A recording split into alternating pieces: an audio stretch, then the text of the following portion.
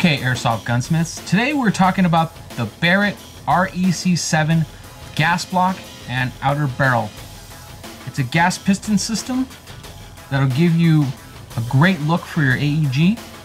Now it comes in two sizes. It comes with a longer version, carbine length, and it comes with a CQB version. So it's good for pretty much anyone that want th that wants this look.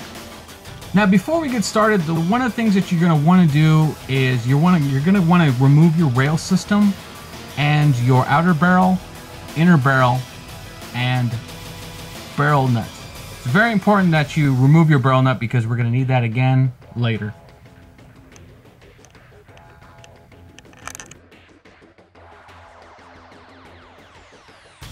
To install this REC7 gas block on your rifle, it's extremely simple. Like I said earlier, you're going to go ahead and remove your outer barrel, inner barrel, and your barrel nuts.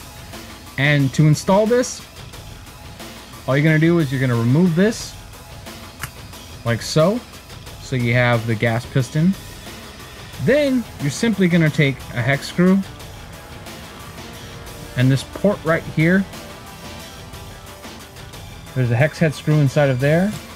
Take your tool slowly loosen it, making sure you've loosened it. You don't need to completely take it out because what that ends up doing is just doing something nice and easy like that. Then you want to go ahead and take your barrel nuts that you've already previously taken out from your AEG. Slide that over top like right there. Go ahead and place this back retighten this down.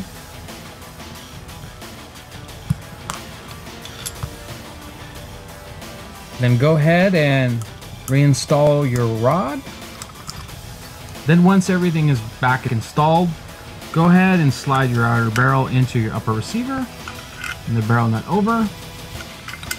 You can go ahead and tighten this back down.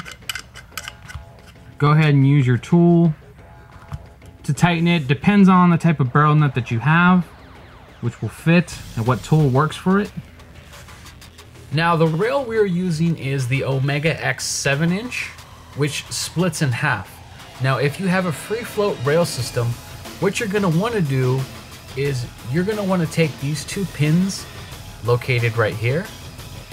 You're gonna wanna take a punch or something similar and go ahead and knock these out.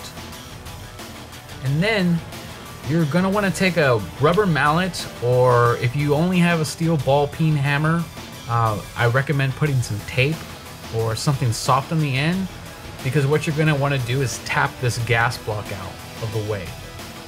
Once the gas block is tapped out, all you're gonna have to do is take your free float rail system, go ahead and put it over top of it, and then go ahead and reinstall the gas block, and you'll notice that there's two grooves located that are cut out for these pins to sit in. Go ahead and reinstall the pins.